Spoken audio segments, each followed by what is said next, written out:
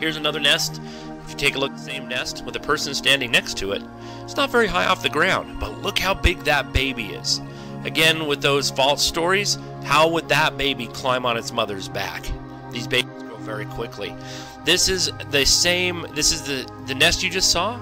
This nest belongs to the same pair but was used on a different year. And if you look in the center of the screen, you can see uh, this is at the edge of a canyon, but it's at the very top. So you can literally walk right up to this nest and look at it. But from below, it's uh, quite an advantageous spot. So, on rare occasions in some countries, golden eagles will nest in a tree if they have to, but they definitely prefer a cliff nest. Now, remember, a nest is a crib, not a home.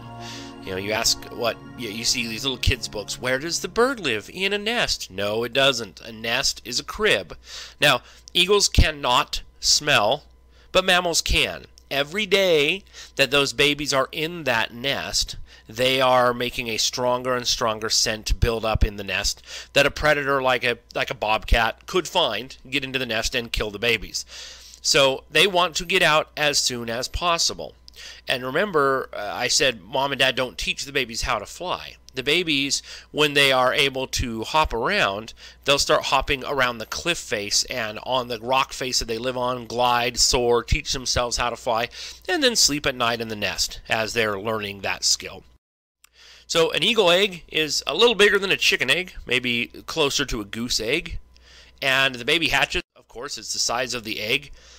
They're just cute little fluff balls, and they really quickly start to get big. Now, at first, you get their brain and their spine growing, and then the rest of their body, the skeleton. Now, you look at this baby eagle, you look at those legs, you look at the talons. We'll take a closer look in just a second. The feathers that are growing the fastest right now are the tail feathers and the primary and secondary flight feathers on the wings.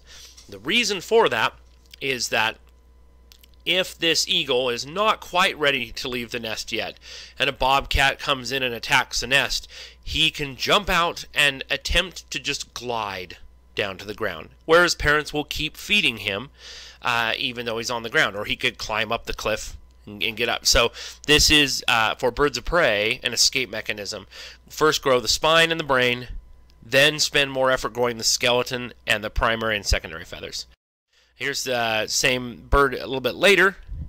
And take a look how, again, there's a lot of patches, but those secondary and primary wing feathers are big enough that he could jump out and still be okay.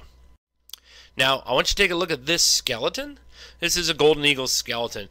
It's amazing when you see underneath the feathers how long and skinny the neck actually is.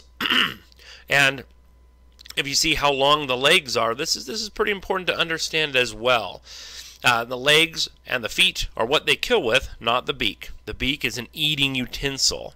The feet are, are, are the business end of the eagle.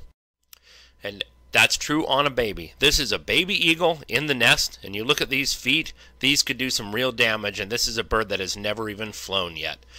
So parents can be aggressive in the nest, but usually they're not. Usually near the nest, they figure their babies are big enough and have strong enough feet that they can fend for themselves. And we see this to be fairly true most eagles around around the world, most golden eagles. Again, gigantic feet on a baby. This is a golden eagle that was banded. You can see on its right leg, it's got a, a um, aluminum band to track where it goes, but these talons are huge and very powerful. Now, sibling rivalry. You may have heard that one eagle will kill the other. That the two chicks, there'll be two chicks in a nest, and the bigger, more powerful chick will kill the younger one.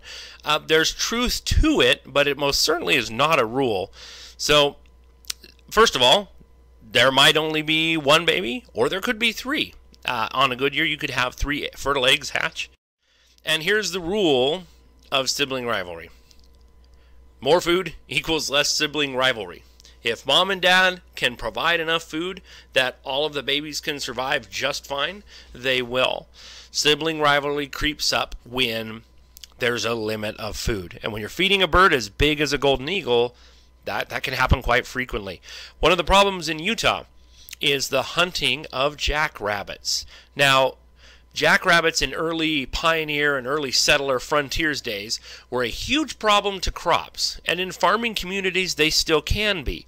Uh, wildlife conservation and hunting laws have been based off of that situation. So in Utah and almost every western state that I'm aware of, anybody can hunt a jackrabbit anywhere with any weapon and they can just kill them and leave them out. So people use them as basically target practice. The problem with that is people shoot them with shotguns with lead shot and they just leave them there. And two problems. Number one, golden eagles will come after and eat the freshly killed jackrabbit and get lead poisoning and die. The other problem is even if you shoot with steel shot, just decimating a rabbit population in an area decimates the golden eagle's food source. So, in an attempt to uh, keep a situation alive that made a lot of sense maybe in pioneer times, people are actually hurting uh, golden eagles now.